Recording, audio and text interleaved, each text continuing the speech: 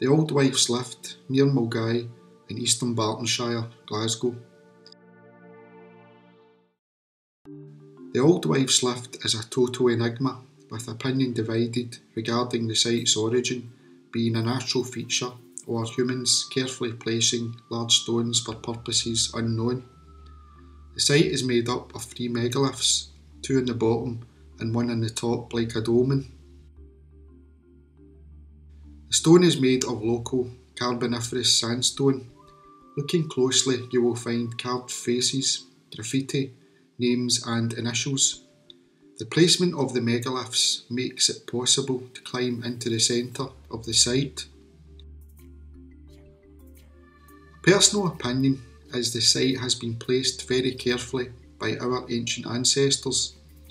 The stones sit in the middle of a natural amphitheatre in an area rich in archaeological remains.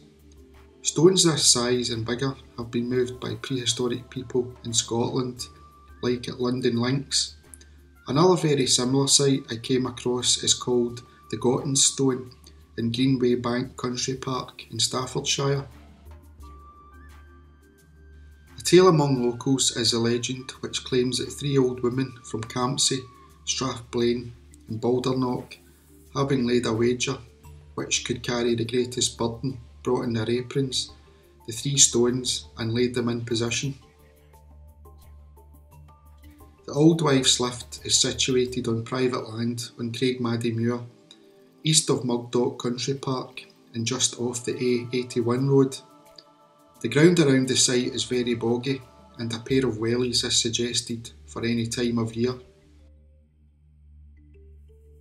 Please subscribe for regular content on Scotland's ancient sites and join Before Caledonia on Facebook. A big thanks to my Patreons and a huge thanks to our ancient ancestors.